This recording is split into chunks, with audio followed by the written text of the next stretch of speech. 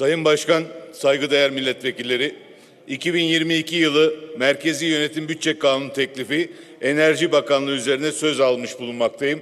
Bu vesileyle hepinizi saygıyla selamlıyorum. Son 3 yılda elektriğe, doğalgaza, kömüre, benzine, mazota ve LPG'ye beklenenin çok çok üzerinde zamlar geldi. Yapılan aşırı zamlar sonucunda emeklilerin, işçilerin, çiftçilerin, küçük esnafların ve memurların bu fahiş faturaları ödeyemediği ve çok büyük mağduriyetler yaşadığı yatsınamaz bir gerçek. Zamlar gerçekten kaldırılabilir boyutta değildir.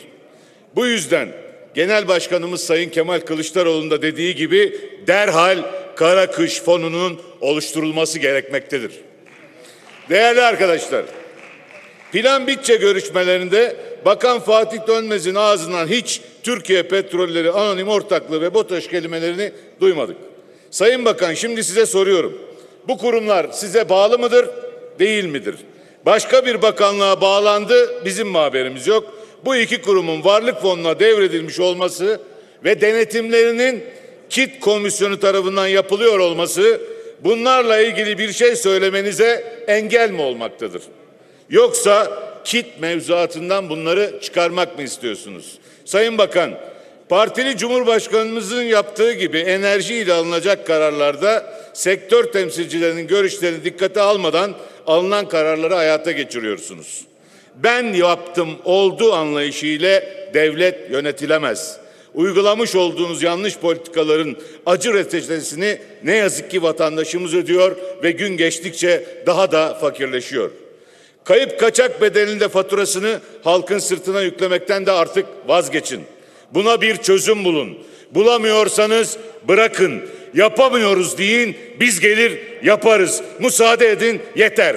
Sayın Başkan, saygıdeğer milletvekilleri, TİH karını bir yılda üçe katlamasına rağmen niçin özelleştirmek istiyorsunuz? Üç kurum ülkemiz için büyük önem taşımaktadır. Bu vesileyle TİH'ın Toprak Bahçı TPO'nun BOTAŞ'ın özelleştirilmesini doğru bulmamaktayız.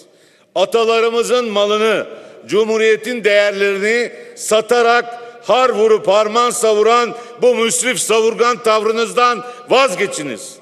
Çok değil.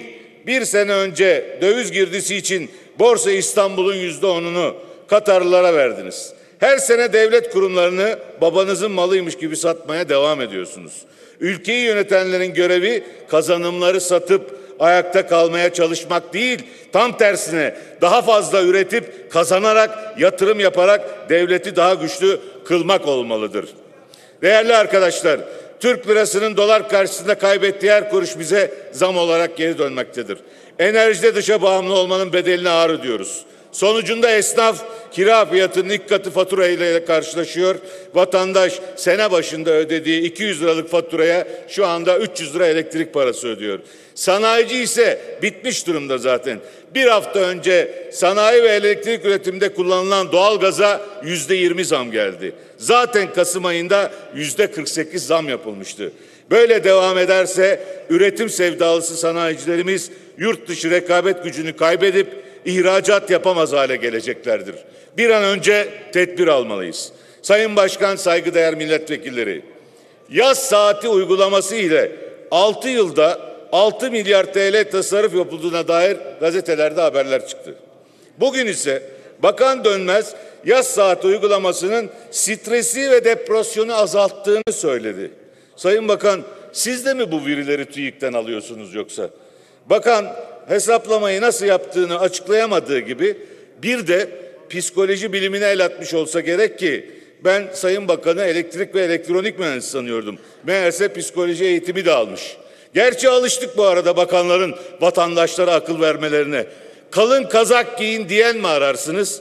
Doğal gazı kısın diyen mi ararsınız? Vatandaş herhalde bunları düşünemiyor ki bu şekilde akıl vermeye uygun görüyorlar vatandaşa. Tasarrufla ilgili bakanın söylediği teyit edecek bir bilimsel veri yoktur. Hangi kriterleri baz alıyorsunuz? Doğru hesap yapıldığını nasıl bileceğiz? Derhal sabit saat uygulaması değerlendirme raporunu açıklamanızı bekliyoruz. Devlet tarafından çıkartılması gereken yeraltı ve yerüstü kayıt Tamamlayalım lütfen. Kaynaklarımız devlet kurumu olan MTA tarafından yapılması gerekirken bugün ne yazık ki yandaşlara verilmiştir. Çok övünerek söylediğiniz yerli ve milli kavramı sorgulanır hale gelmiştir. EPDK'nın tahsil edemediği cezalar kurumun 10 yıllık gelirine bedeldir. MAPEK, EPDK gibi kestiği cezaları alacakların takibini yapamamaktadır. Şirketlerin vatandaştan tahsil ettiği elektrik enerjisi fon bedelleri bakanlık hesabına hala yatırılmıyor ve bakanlık bunun maliye ile ortak takibini yapacak bir sistemi hala kuramamıştır. 37 enerji şirketi vatandaştan elektrik enerjisi fon bedellerini tahsil etti ama bakanlık hesabını yatırmadı. Sahi bu arada 128 milyar dolar nerede? Hepinize saygılar sunuyorum. Geliyor gelmekte olan.